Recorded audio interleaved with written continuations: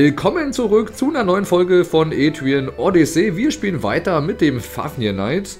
Und ihr seht schon, ich bin in der zweiten Ebene des ersten Stratums. Ja, was gibt's Neues? Eigentlich kaum irgendwas Neues. Wir haben in der letzten Folge unser Café soweit ja, stärken können, dass wir jetzt auch Kaffee anbieten. Oh, wir können Kaffee trinken und zwar ziemlich teuren. Aber es gibt coole Effekte. Da wir den getrunken haben, wirkt auch der Effekt direkt beim ersten Mal kostenfrei. Das heißt, wenn wir jetzt hier durch die Kante laufen, regenerieren wir mit jedem Schritt im Dungeon ein paar HP-Punkte. Sehr nice. Und generell ist das Café auch sehr cool, weil wir werden später noch andere Rezepte irgendwie, ja, heraus. War es das gut gesagt? Ich glaube nicht. Das klang komisch. Aber ihr wisst, was ich meine. Wir haben verschiedene Rezepte, die wir einfach noch irgendwie enträtseln müssen. Identifizieren, besser gesagt. Und je mehr Rezepte wir kennen, desto größer wird die Chance auch sein, dass wir richtig krasse Effekte haben. Also eins war zum Beispiel, dass wir erhöhte Ausbeute haben, wenn wir an so Mining Points sind.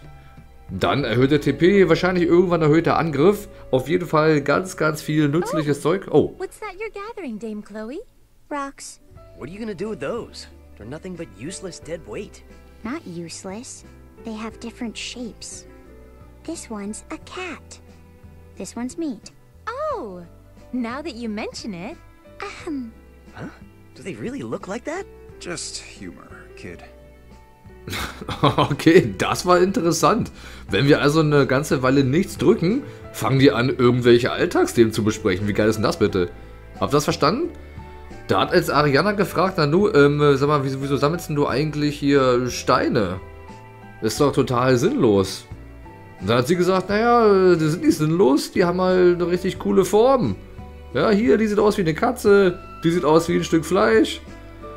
Ja, so viel dazu. Und dann hat Agatha gesagt, okay, hey, hey, jetzt, jetzt wo du es sagst, da kenne ich es auch. Und Bertrand meinte, oh Mann, das war Humor.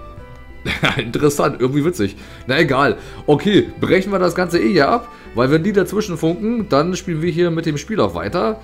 Ähm, naja, ich habe auch natürlich so weitergespielt und habe mich gefragt, Nanu, wo soll es denn jetzt lang gehen? Weil wir sind ja immer noch auf der Suche nach dem Guard, der uns den Tipp gibt, wie wir eben diesen einen Schalter umlegen können. Und ich habe soweit erstmal alles eingezeichnet, was ich noch finden konnte. Und wir haben immer noch das Problem, dass uns die Raptoren den Weg versperren. Aber mir ist eins aufgefallen. Und zwar hier habe ich festgestellt, das hier ist ja ein Stein. Ja, und dieser Stein verhindert den direkten Zugang des Raptoren zu uns.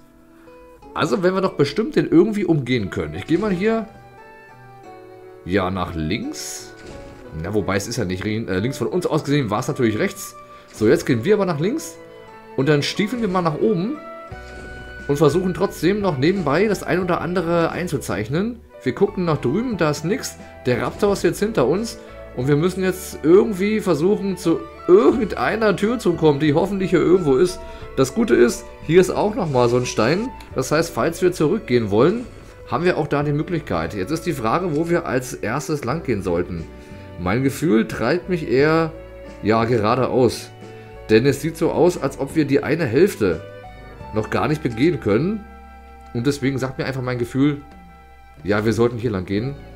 Also wenn das eine Anlehnung ist an den ersten Teil, da war es ja generell so, dass wir erst ganz zum Schluss durch ein paar bestimmte ja, Quests, die wir triggern konnten, konnten wir noch mal in die Anfangsgebiete zurück.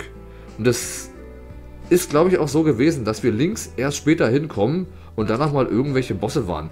Also wenn es wirklich so ist, ich kann mich noch an einen Steingolem erinnern, der hat ein rares Item gedroppt, indem wir ihn äh, mit so einem Instant-Kill besiegt haben.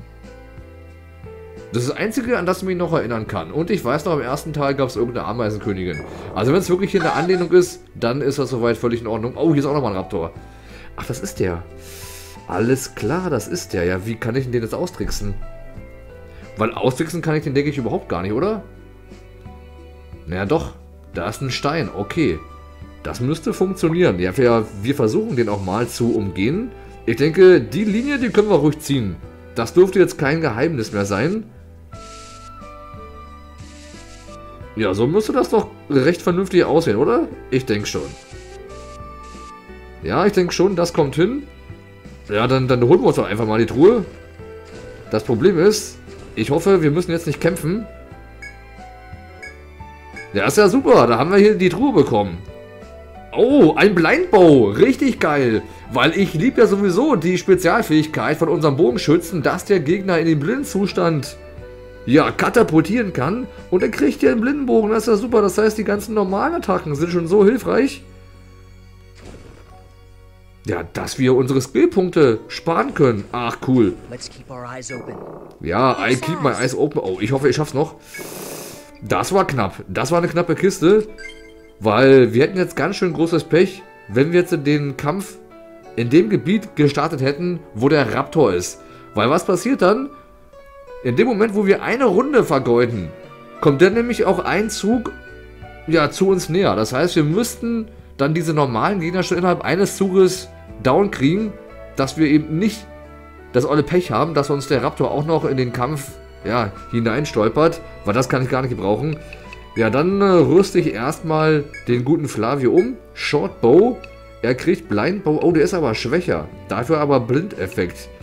Ja, das ist jetzt das Problem. Entweder wir machen das. Ja, der macht weniger Schaden. Aber ey, ganz ehrlich.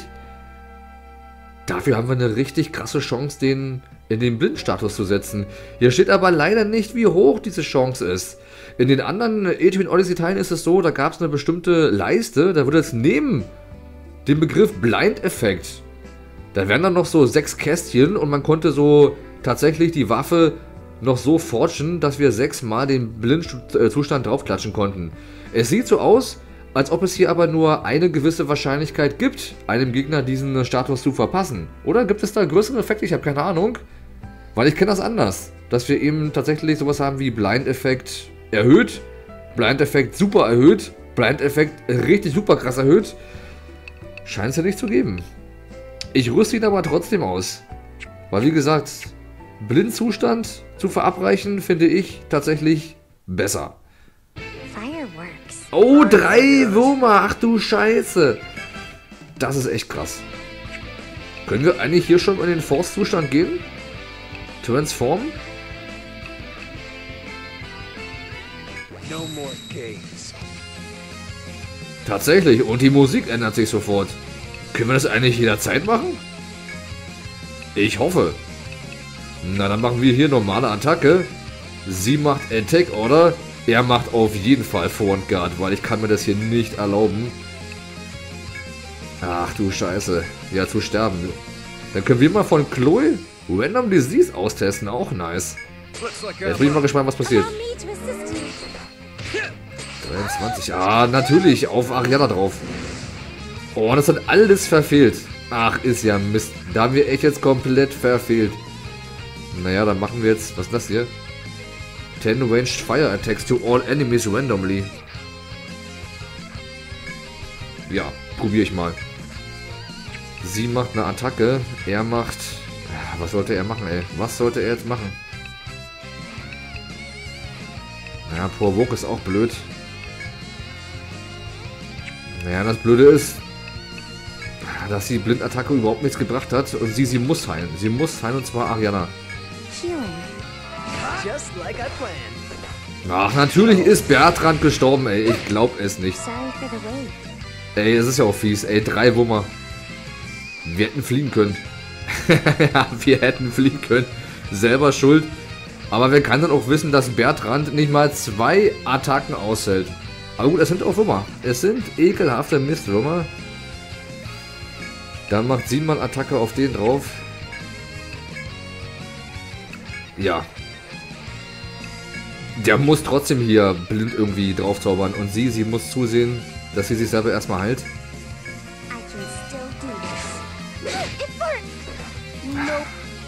Hat nicht gereicht. Okay, der erste ist weg. Könnte ich eigentlich jetzt nochmal Force? Nee, könnte ich nicht, alles klar. Geht nur einmal. Ja.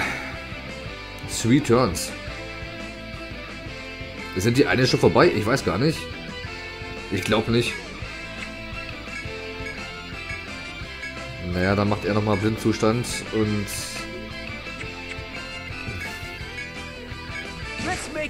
Ah, ist jetzt Mist, das ist wirklich Mist, dass Bertrand gestorben ist. Oh, Alter, und schaut mal, was die für Schaden machen, ey. Alter, Alter, Alter.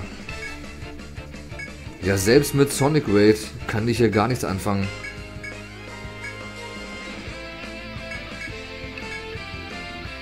Ja, das Blöde ist auch, dass die Effekte überhaupt nicht halten. Und die, die soll zweimal halten. Ah, das, das, das wird nicht klappen. Wir, wir werden sterben. Wir werden einfach hier sterben. Jetzt haben wir ein riesen Schwein gehabt. Ja, wir haben jetzt wirklich monstermäßig viel Schwein gehabt, dass wir jetzt nicht gestorben sind. Das müssten wir noch überleben. Yes. Ah, yes. Und er ist blind. Immerhin. Immerhin ist er blind. Ja, blöd ist trotzdem, dass wir, glaube ich, keinen Honig haben oder irgend so einen Wiederbelebungstrank. Kann das sein? Naja, wir hätten ja auch uns stärken können. Ja, dann ist der Bogen vielleicht doch nicht so geil. Da sollte ich eher auf Stärke setzen und versuchen, den irgendwie am Anfang so schnell es geht wegzubouncen. Naja, Mist. Na, was, was, was soll ich machen? Was soll ich machen? Da kann ich nichts machen. Ja, ich muss mir irgendwas einfallen lassen.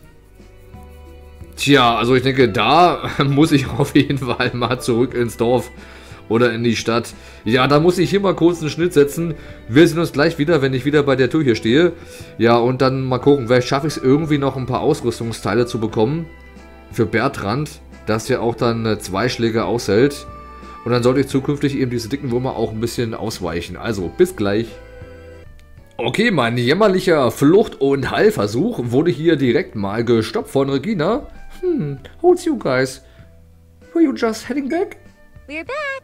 Ja, sie fragt, ob wir denn äh, schon zurück sind. Und Ariana sagt, hm, yes, Dame Regina. Pray tell, what exactly are you doing?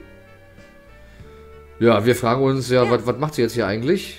Hm, I was just carrying some things to Café Lagar. Sie hat irgendwas jetzt so zu unserem neuen Café transportiert und Flybo sagt, wow, what's this all even for? Do you need any help carrying it? Und er fragt, ob er helfen kann beim Tragen. No. Hm, no, that won't be necessary. I'm pretty much done with most of it. Oh ja, nee, ist nicht nötig, sie ist schon fast fertig. Okay, was zum Teufel soll das, dieser Text? Warum kommt sie zu uns? Hm, I'll explain, um, what's in these boxes at Café Lager later. I see you once then. Bye. Phew. Das war's jetzt. Okay, Flavio sagt weiter. And there she goes. Wonder what's in all those things. Tja. Ja, wie von out natürlich. Ingredients for food. Ja, maybe a care package. Ach, egal, wir finden es raus, wenn wir irgendwann da sind, ja. Und sie sagt aus, können wir loslegen? Dann gehen wir auch direkt mal zum Café Lagar. Also jetzt wollen wir es natürlich auch wissen. You have a moment? Yeah, haben wir. Ah, you've come. About what I said before. Uh, I said before. It all began when a package arrived for you. Für uns? Sie sagt, alles begann damit, als ein Paket für uns hier eingetroffen ist. Wer weiß denn, dass wir hier sind? Von, von unserer Library vielleicht? Oder ist das für Ariana? Na, wir werden es ja sehen. Hm. It was left here so you could use it however you please. Which is why I was carrying it in. Hm. Also nichts Neues. Es geht immer noch um das Paket. Ja, wir wissen, dass es jetzt da ist. Und nu?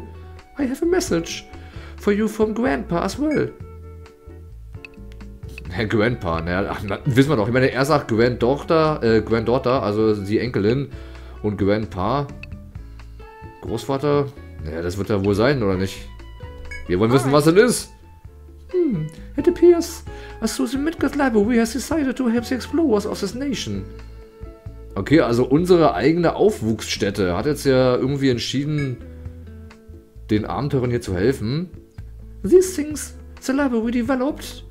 Gimor stones or something. Anyways, they've been approved for use here. Gimor Stones. Ich habe keine Ahnung, was das ist. Aber irgendwie wurden die jetzt hierher transportiert. Die wurden irgendwie entwickelt. Wow! We can use Gimor Stones now. Wow! That will be a big help. Ja, ich wollte gerade sagen, weil wir müssten die ja eigentlich kennen, wenn die von unserer Library kommen. Und Flavio sagt auch schon, na ist ja klasse, Mensch, Grimoire Stones. Das wird eine richtig große Hilfe sein. Ähm, Grimoire Stones? ja, genau, sie hat noch nicht mal verstanden, dass Steine sind. My, I had no idea the Midgard Library was researching pastries. Oh. Ja, da hat sie wieder mal was falsch verstanden. Scones? Does it taste good? Sie denkt ans, ans Fressen. No, no, no. Und die denken tatsächlich, wir haben jetzt hier Nahrungsmittel bekommen. Ja, ist aber kein Gebäck. Äh, what? No, I mean, Gumma stones are the items that can record the skills of the person holding it. Ach, das hier interessant. Die können also unsere Skills, also wenn wir uns jetzt irgendwie skillen, dann können die das abspeichern und wir haben da jederzeit Zugriff drauf. Habe ich das richtig verstanden? If we use these, even I could heal or use elemental attacks. Okay. Wenn er die benutzt, kann er also auch heilen oder elementare Attacken ausüben durch diese Steine. Ja, und da kommt Bertrand ins Spiel. Er findet es sehr interessant. Hm, that's so? They say Midgard's responsible for inventing some nifty stuff, but this is definitely gonna come in handy. Er sagt schon, ja, ist irgendwie, äh, äh, ja, wir sind bekannt dafür, dass Midgard eben solche Sachen halt erfindet. Aber das, das könnte wirklich irgendwie nützlich sein, nicht so wie der andere Mist. Hm, Grimoires, Scones, Gluten, whatever it is. All I know is, I got a bunch of them for you to use however you want.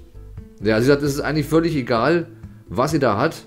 Hauptsache, sie kann daraus was für uns machen. Hm. I'll set up the facility for them there, so do what you want with them. Ja, sie gibt uns das jetzt irgendwie. Wir obtained ein Grimoire Stone. Obtained Double Attack Grimoire. Fire Formula Grimoire. Hypnobite Grimoire. Medic Bullet Grimoire. Okay, das war Heilung, elementare Attacke und Doppelattack. Ach, Okay, krass. The Guidehouse has been unlocked. Select the Guidehouse from the menu to enter the Guidehouse and try equipping a Grimoire. Und zufälligerweise haben wir auch fünf Stück bekommen. Na, wenn das kein Zufall ist. Das heißt, wir können jetzt jedem unserer Teammitglieder einen so einen Stein ausrüsten. Und das können wir jetzt machen im Guidehouse über das Menü. Hier. Ach, hier tatsächlich. Und wir können sogar unsere Stadt entwickeln. Geil. Town Development. Doing this then? Ja, na dann gehen wir doch mal ins Guidehouse. In the Guidehouse, you can set your guide card. Select Grimoire Stones, then equip Grimoire. Ja. Grimoires, right? Ja, wir gehen auf TC. Now you will equip a Grimoire Stone. Select a Grimoire Slot. Ah, wir können drei Sterne ausrüsten sogar. Geil. The Grimoire Stones are now being displayed. Okay, die haben sogar alle unterschiedliches Level. Characters equipped with a Grimoire Stone will be able to use the skill recorded onto it. Also, if the characters equipped the Grimoire already has that skill, their skill levels will be added up, powering up the skill. Ach, auch interessant. Das heißt, ich könnte jetzt hier Double Attack mehrmals nehmen, also maximal drei Stück, und dann würde sich das Level von diesen einem Skill ordentlich erhöhen. Auch cool. Hier. And if the Gumma skill requires a specific weapon, that character will be able to equip that skill related weapon.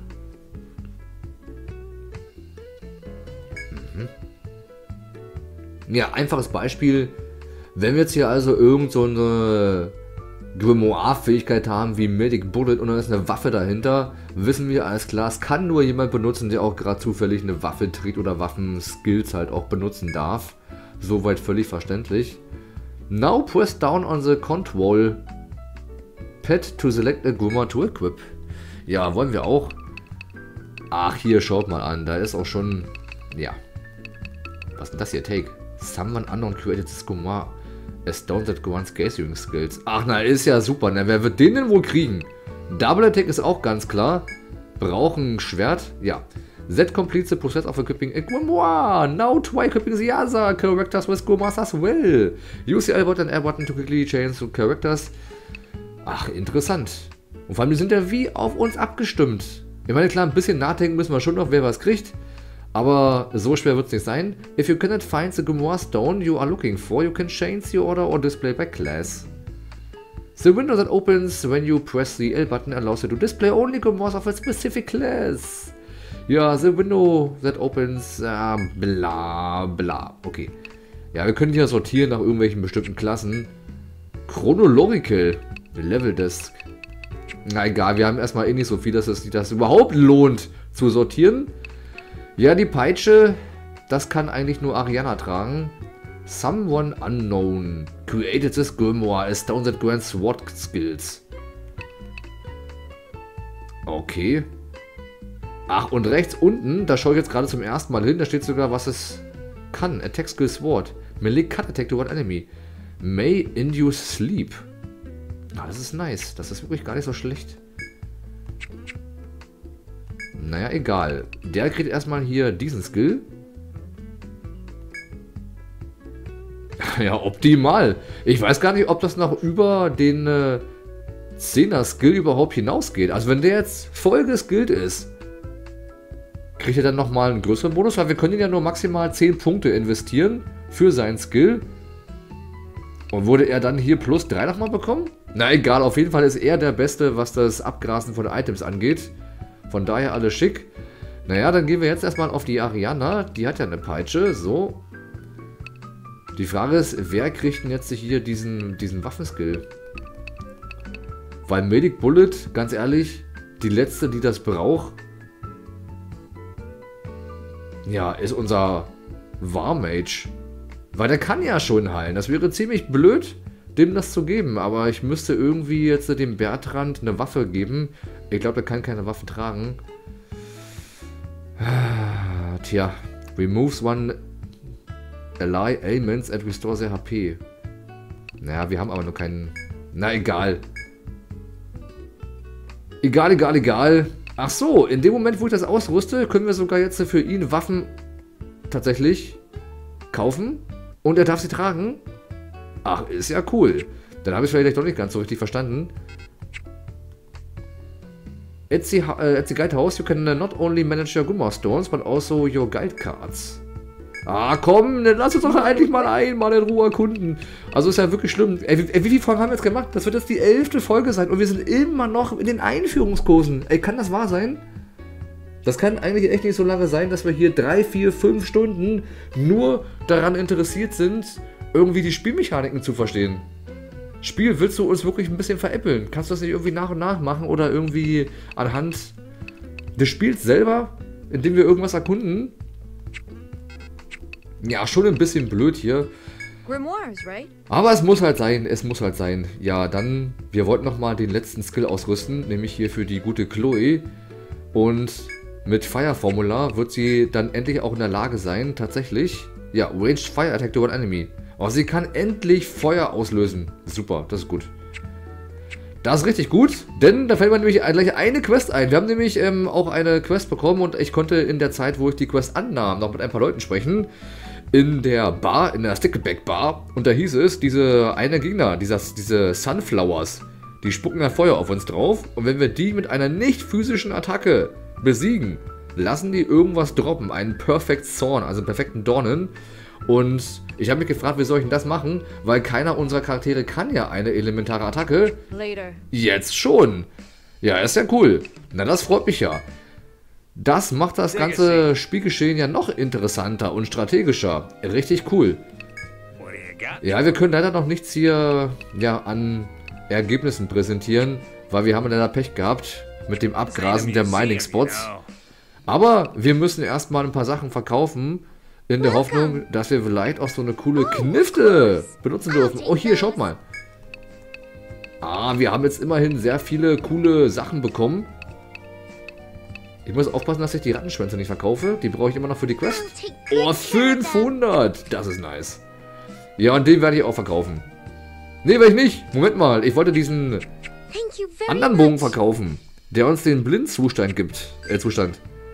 Weil der hat sich als nicht so effektiv herausgestellt. Wenn ich jetzt wüsste, wir haben so eine 80-prozentige Chance, dass der Gegner auch wirklich erblindet, würde ich ihn nehmen. Aber wenn es so 50 oder 40 Prozent sind und wir haben es ja gerade festgestellt, wir haben glaube ich dreimal mit dem angegriffen und der hat einmal es geschafft, den Blindzustand draufzulegen. Ne, ist mir zu wenig. Das ist mir zu wenig, das kann ich dann nicht gebrauchen. Deswegen, lieber Flavio, kriegst du deinen normalen Bogen wieder zurück. Und überleg mal, Alter, der macht hier 19 mehr Schaden. Das ist dick. Das ist richtig dick. Dann lieber so. Und das Schöne ist, wenn wir nämlich jetzt äh, diesen Bogen verkaufen, wird er für uns auch immer wieder äh, kaufbar Oh, sein. Hier, ach, kostet auch noch 40, ja. else? Ja, okay, nee, hier mache ich einen Schnitt, weil das Ausrüsten und Umrüsten, das Wiederbeleben von Bertrand, das müsst ihr nicht mit angucken. Ja, wir sehen uns dann gleich wieder, wenn ich, äh, ja, wie ich es vorhin schon vorhatte, vor der Tür stehe, in der zweiten Ebene. Und dann gucken wir mal, wie weit wir kommen. Bis gleich. Okay, Freunde, ich weiß nicht, ob ich das jetzt aufnehme, weil es ist schon wieder so viel Text und Lernerei vorher passiert. Ich kann euch das nicht antun, das wirklich kleinstlich hier mit mir durchzugehen. Und ich muss tatsächlich sagen, für das Aufnehmen, für das Let's Play, nervt mich das langsam, diese ganzen Erklärungen zu den Spielmechaniken. Ich meine, es kann doch nicht so schwer sein, einfach zu sagen, hier, so sieht's aus. Lies, wenn du willst, das einfach irgendwo nach. Aber dass wir gezwungen werden, nach und nach immer mit irgendeiner neuen Person zu sprechen, über irgendeine neue Sache, die sich das Spiel gerade ausgedacht hat. Oh, schrecklich. Schrecklich. Ich meine, ich sehe schon, dass wir in 20 Stunden irgendwo auf Ebene 3 rumhocken und dann noch ein Mensch kommt und uns nochmal einen Hinweis gibt, wie wieder irgendwas funktioniert. Ah. Also irgendwann ist hoffentlich genug. Aber ich versuche das jetzt hier aufzunehmen, weil was haben wir jetzt festgestellt? Wir haben jetzt herausbekommen, dass diese Grimoire Stones die Fähigkeit haben, sich in einem Kampf zu splitten. Dass wir aus einem noch einen zweiten machen können. Mehr haben wir gar nicht bekommen. Hätte aber schon wieder 5 bis 10 Minuten gedauert. Diese eine kleine Information. Diese eine Information, dass diese Steine sich, sich im Kampf splitten können. Witzig, oder? Naja, mal gucken, was wir uns hier erklären. Ja, eine Grimoire Chance has occurred. Ja, wir sehen, wir haben jetzt die Chance auf die Splittung der Grimoire-Steine, wenn eben genau das jetzt hier kommt. Ja, also Grimoire Chance means that new Grimoire Stones may split off. Neue vor allem. Okay, also nicht mal die gleichen. Wenn das Symbol erscheint, alles klar. Was steht da? Grimoire Chance. Gut Grimoire obtain physical defense up. The newly created stones will record either your skills or the enemies.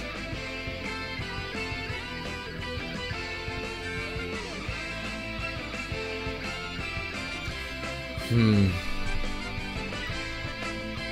Ja, wenn ich jetzt wüsste, wie groß diese Chance ist. Also entweder unsere eigenen Skills oder die der Gegner werden aufgenommen. Hm. Aber schon wieder blöd. Es ist schon wieder blöd, dass wir nicht wissen, wie hoch die Chance ist. Ja, ich hasse sowas. Ich hasse sowas wirklich, weil es kann ja auch bei 1% liegen, bei so einer richtig krassen Fähigkeit. Und wir wissen es nicht.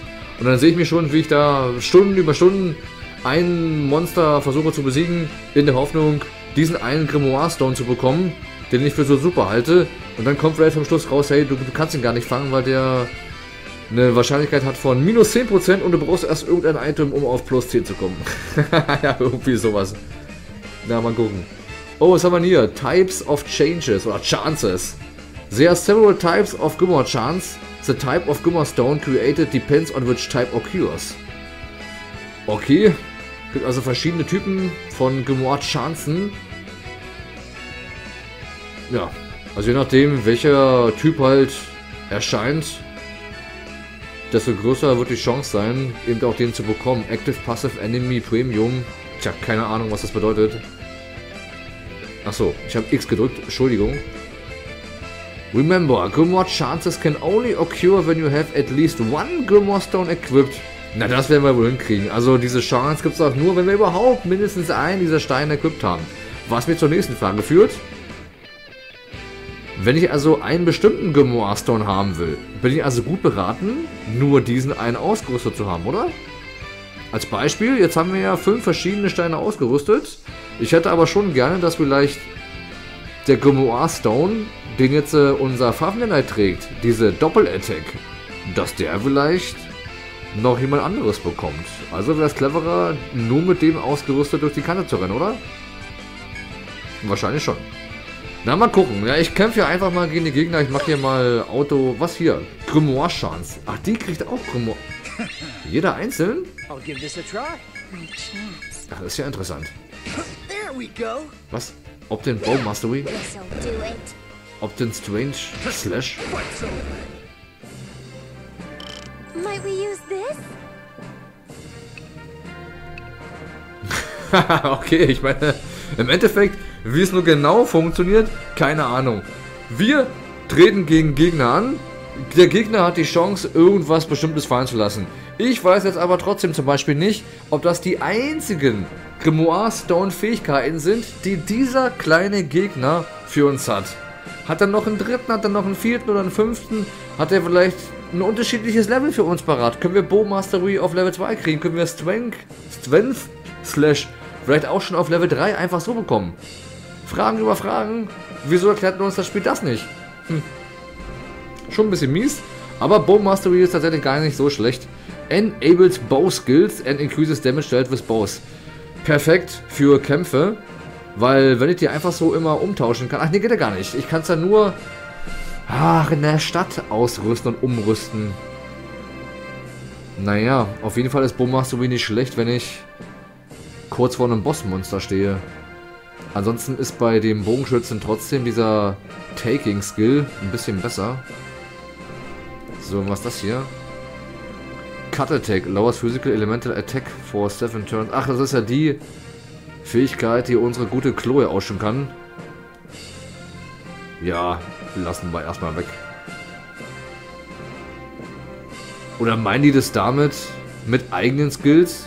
Dass anhand wirklich der Skills, die ich jetzt hier habe, also die unsere eigenen Kameraden besitzen, sowas eben wie Bow-Skill, dass wir die kriegen können?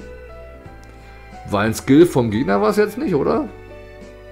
Naja, es ist schon ein Rätsel. Vielleicht werde ich mich da nochmal online ein bisschen belesen, wie das Ganze funktioniert. Und dann werde ich es euch nochmal etwas genauer erklären. Aber interessant. Ist ein nettes Gimmick auf jeden Fall. Also mit den Steinen, das finde ich wirklich gut. Da kommt sehr, sehr viel strategische Komponente hier mit ins Spiel. Mal gucken, wie sich das im äh, späteren Spielverlauf dann präsentieren wird. Na, egal. Ja, ich weiß gar nicht. Ich denke, für die Runde wird es wohl gewesen sein. Ja, ich mache mal hier eine Pause, weil ich glaube, wir haben schon wieder einiges an Zeit wieder verbraten. Ja, in der nächsten Folge hoffe ich dann, dass wir endlich dann doch die zweite Ebene frei, ich, ich hoffe, ich bete wirklich, frei, hörst du Spiel, frei erkunden können ohne dass dann irgendwas Neues jetzt hier nochmal uns blockiert. Ich hoffe und wünsche es mir ganz einfach. Ja, ansonsten genießt noch den Tag und wir sehen uns dann morgen in der neuen Folge von Alien Odyssey. Bis dahin, alles Gute, tschüss.